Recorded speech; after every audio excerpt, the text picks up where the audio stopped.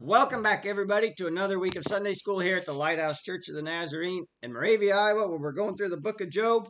This week we are in Job chapter 20. Now, the main question in the book of Job is why do righteous people suffer? Why do good things happen to bad people? The problem is that question never really does get answered in the book of Job. But the book of Job does tell us that God sees everything going on in our lives and that God is in control of everything. And we can take comfort in that, can we not? So today in Job chapter 20, we're going to hear from one of Job's friends named Zophar. Remember, we had Eliphaz, Bildad, and Zophar. We're going to hear from Zophar, but he isn't going to say anything new to us. He's just going to say the same thing that the other friends have already been saying.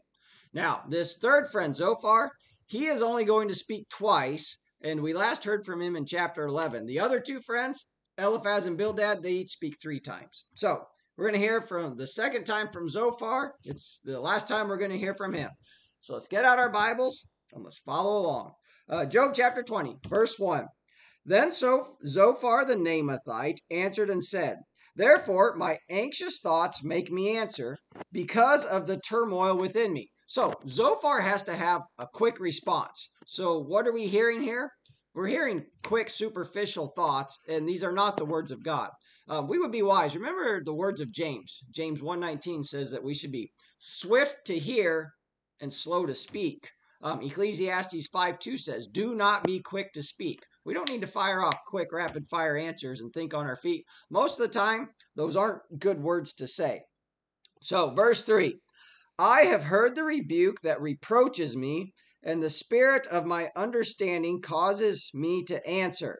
Um, does Joe, it seems like Zophar almost feels insulted by Job. Why would Zophar feel insulted by Job?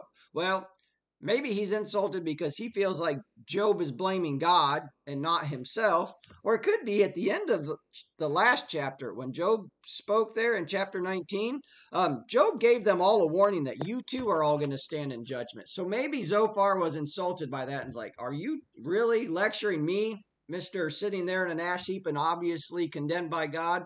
So Zophar obviously seems insulted by Job. Let's keep going here. Verse 4. Do you not know this of old, since man was placed on earth? Just you can just feel the pride and arrogance in Zophar. He's saying everybody knows this, Job. Job, um, this is almost a claim of authority, is it not? He says, I know this is true but you don't. So we can just feel the pride and arrogance coming out of this man. Verse 5 that the triumphing of the wicked is short, and the joy of the hypocrite is but for a moment. Now, is this true what Zophar is saying here?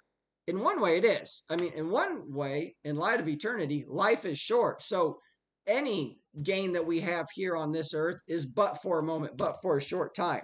But Zophar is saying that the triumphing of the wicked is short, saying that the wicked what they succeed in will be shorter than what the righteous person succeeds in. Is this true or is it not? Let's think about this. God is actually long suffering with the wicked, is he not? 2 Peter 3 8 9 says, The Lord is not slack concerning his promises, some count slackness, but is long suffering toward us, not willing that any should perish. Now, God actually has very much patience with the wicked, and that's through his mercy. Remember, God waited a hundred years before he after warning of the flood before he sent the flood. And the Canaanites, um, he gave them 400 years in the land of Canaan. He told Abraham that, he said, uh, for the iniquity of the Amorites is not complete. And he gave them 400 years to repent, and they still didn't do it. So um, it's actually interesting the prophet Jeremiah, he actually came at this from a different angle, and it's in Jeremiah 12:1 where he says, "Why do the wicked enjoy such long life and why do the wicked enjoy such freedom from trouble?" So Jeremiah didn't say that the triumph of the wicked is short. He's saying, "God, why do you why do you grant them so much mercy?" Let's keep going here. Verse 6. Though his haughtiness mounts up to the heavens and his head reaches to the clouds, it's interesting. Remember last week, just in chapter 19, we talked about all the different idioms that come from the Bible. Remember, um, getting by by the skin of your teeth, the root of the matter, the handwriting on the wall, driving like a Jehu, all these idioms that come out of the Bible. We have another one right here in verse 6. Have you ever heard of somebody who has their head in the clouds? That comes right out of the Bible and it comes right here. What's uh what's Zophar talking about here? He's talking about pride. And remember, pride is one of the seven deadly sins that they talk us tell us in the Bible. It's Proverbs chapter 6. Six things the Lord hates. Yes, seven are an abomination to him. Do you know what the first one is? A proud look. Uh, what did Jesus say about this? He said, He who is greatest among you shall be your servant, and whoever exalts himself will be humbled, but he who humbles himself will be exalted. Um, yeah, so the interesting thing is here, who actually is the one that has his head in the clouds? Who actually is the one with the pride issue? It's Zophar, is it not? Let's keep going here. Verse 7 Yet he will perish forever, like his own refuse. I mean, like his own dung, it'll be gone. How do you like Zophar's words there? Those who have seen him will say, Where is he? Verse 8 He will fly away like a dream and not be found. Yes, he will be chased away like a vision in the night.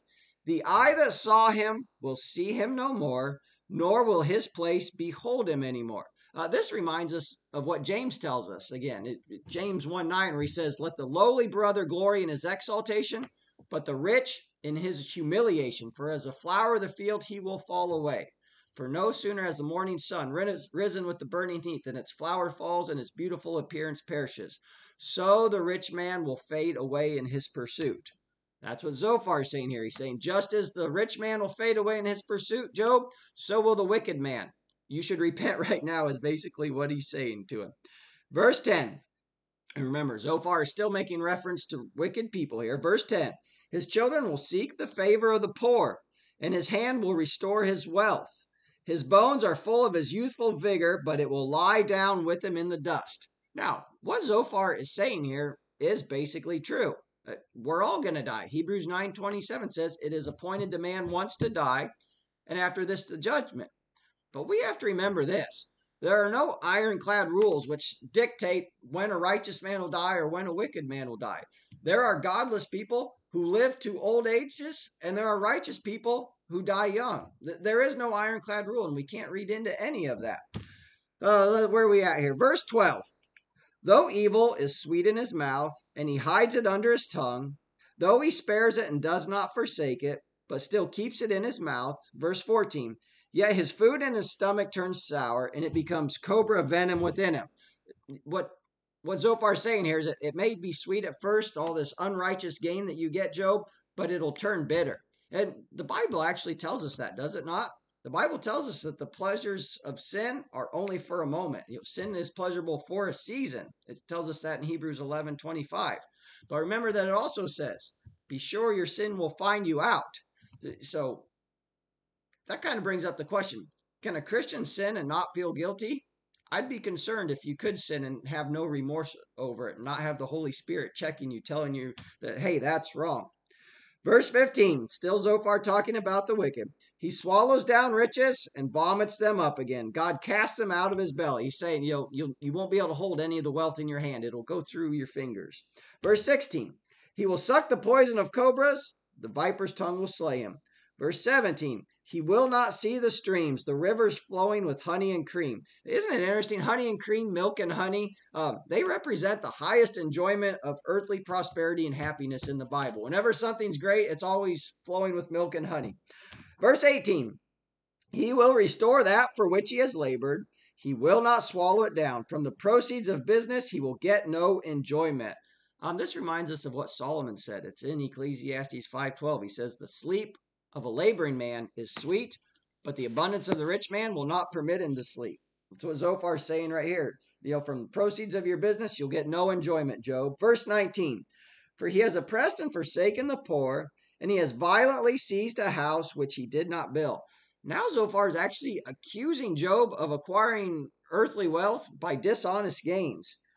How does he have any clue? He's entirely reading into the situation here. One thing we have to remember these are the words of Zophar. And at the end of the book of Job, remember, God condemns the three friends and says, What you said was not right. Now, am I saying everything they said is wrong? No, but it's applied entirely wrong in this situation to Job because we know Job was a righteous man. Verse 20 Because he knows no quietness in his heart, he will not save anything he desires. Nothing is left for him to eat, therefore his well being will not last. Notice there in verse 20 he says, Because he knows no quietness in, in his heart. What does Jesus give us? Jesus gives us peace. Without without God, there is no peace, and people just live lives ridden with anxiety. But Jesus told us it's in John 16 33. He says, I tell you these things beforehand, so that in me you may have peace. In the world you will have tribulation, but be of good cheer. I have overcome the world. Isaiah 26 3 says, You will keep him in perfect peace whose mind is focused on you because he trusts in you. That, that is the gift of God, that no matter what life throws at us, no matter what the trials of this life bring, we can have peace because we know that our names are written in the book of life and that we will spend all of eternity with him. And anything in this life is but for a moment. Where are we at here? Verse 22 In his self sufficiency, he will be in distress. Every hand of misery will come against him. Is self sufficiency a sin? Absolutely, it is. If our self sufficiency becomes independence from God, then yeah, self sufficiency is a sin. Saying, hey, I got this, I don't need anything. Remember the words of Jesus without me, you can do nothing. And we would be wise to remember that. Verse 23 When he is about to fill his stomach, God will cast on him the fury of his wrath and will rain on him while he is eating. He will flee from the iron weapon, a bronze bow will pierce him through. It is drawn and comes out of the body. Yes, the glittering point comes out of his gall. Terror comes upon him. Total darkness is reserved for his treasures. An unfanned fire will consume him. This is a picture of Hades right here in the Old Testament. Jesus says you know, they'll be cast out into outer darkness where there will be wailing and gnashing of teeth. He says that will there be an unconsumable fire. It's right here in the Old Testament. It shall go ill with him who is left in his tent. Verse 27 The heavens will reveal his iniquity, and the earth will rise up against him. The increase of his house will depart, and his goods will flow away in the day of his wrath. Remember, Job was one of the most wealthiest man in the East. He was the greatest man in the East. And what is Zophar saying? Oh, the wicked man, all his goods, they'll all be gone. Job's goods are all gone. Verse 29. This is the portion from God for a wicked man, the heritage appointed to him by God. And then we're done hearing from Zophar for the rest of the book. Notice Zophar's message here. There's no pity, there's no love, there's no understanding, only condemnation. Well, next week we get one chapter of Job, and then we're going to hear from Eliphaz back in chapter 22. So next week we hear from Job. We're done from this week hearing from Zophar. I hope you enjoyed it. I hope you learned something, and I'll see you the same time, same place next week. Bye.